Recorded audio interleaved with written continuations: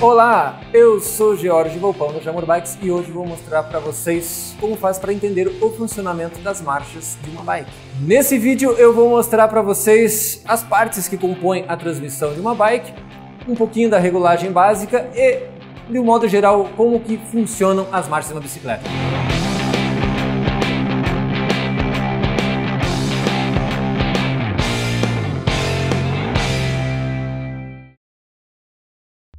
Existem diversos tipos de sistemas de marchas de bicicletas, né?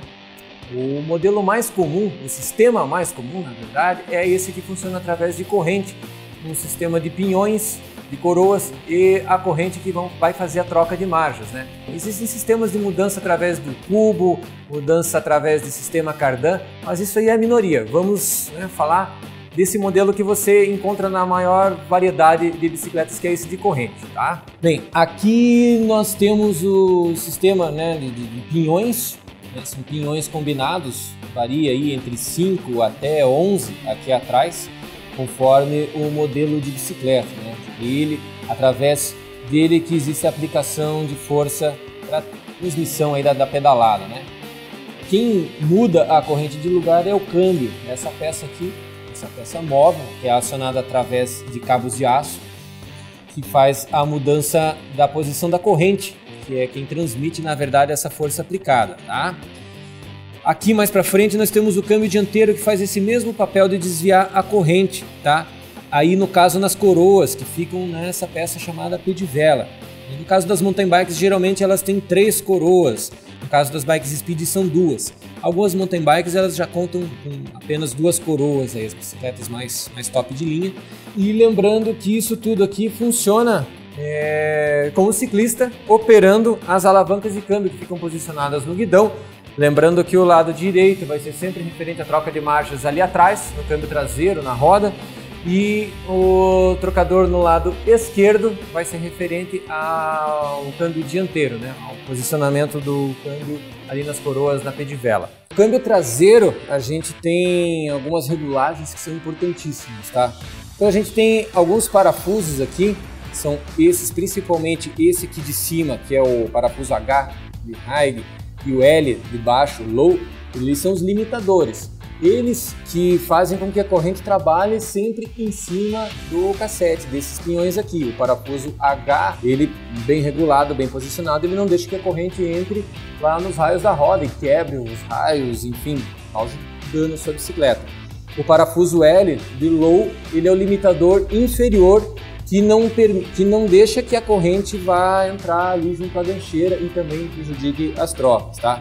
Isso aqui, esses parafusos, uma vez feita essa regulagem, dificilmente vai precisar mexer de novo. E eu diria que talvez a regulagem mais importante para que você tenha precisão nas trocas é desse parafuso aqui, ó. Isso aqui, ele regula a tensão do cabo. Ele faz que quando você bata a marcha ali no guidão, a corrente entre na posição que você realmente quer. Lógico, isso vale muito para quando a corrente está assim, quando está limpo, quando o cassete está limpo, quando está tudo bem certinho. Você vai usando a bike, vai colocando na lama, vai colocando na terra. Quanto mais você usa, mais imprecisas vão ficando essas trocas. E por isso que é preciso sempre estar tá fazendo a manutenção correta, mantendo a sua transmissão sempre limpa. Tá Quanto menor o número de dentes no pinhão, ou seja, esse pinhãozinho aqui que fica próximo ao quadro, mais força você vai ter que fazer. Ou seja, ele é indicado para uma pedalada em descida ou em terreno plano. Conforme você vai, no caso aqui, subindo marcha, pode ver ali no, no movimento, eu vou tendo necessidade de fazer um número maior de pedaladas. Ou seja, quanto maior o número de dentes no pinhão, melhor é para subir, dá aquela sensação de que a bike fica mais leve. Aqui na frente, junto ao câmbio dianteiro, a pedivela, as coroas, o princípio é o mesmo, tá? Você utiliza a alavanca para fazer o desvio da corrente, posicionando na coroa que você achar mais interessante, tá? Só que é invertido.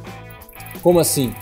Quanto maior o número de dentes aqui, mais pesado fica, mais indicado fica para descidas ou para terrenos planos, tá? Se você baixa aqui na coroa do meio, né, terreno de, de, média dificuldade, e aqui na, na, na, na pequenininha, você vai utilizar para as subidas mais duras, tá? É importante lembrar, aproveitando que a gente está aqui, que é importante evitar de cruzar a corrente. O que é cruzar a corrente? É evitar de usar essa coroa pequena com o pinhão pequeno ali atrás, essa posição aqui. Por quê? Você pode observar que a corrente ela fica torcida, tá? Isso provoca um desgaste prematuro na, na transmissão da sua bike. Então não há necessidade de você utilizar essa, essa, essa marcha, esses extremos assim. A coroa pequena com o pinhão pequeno e a coroa grande com o pinhão grande. Vamos colocar lá só para exemplificar. Eu estou colocando aqui, ó. Coloquei lá em cima e aqui vou colocar aqui também. Perceba, perceba que rola um desgaste, né? Um, o câmbio fica super esticado, a corrente fica torcida não tem necessidade, você pode utilizar outras marchas que vão ter o mesmo desenvolvimento de pedalada sem causar esse tipo de, de desgaste excessivo no material. Da mesma forma que o câmbio traseiro, o dianteiro também tem esses parafusos limitadores que né, um deles vai evitar que a corrente caia no quadro, né, pode causar inclusive acidentes, e o outro parafuso evita que a corrente caia para fora. O câmbio dianteiro ele é muito menos solicitado que o câmbio traseiro, então essas regulagens elas permanecem por muito mais tempo na bike.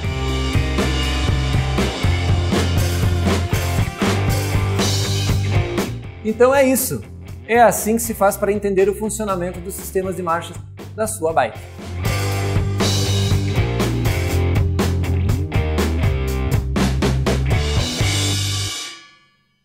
Gostou do vídeo?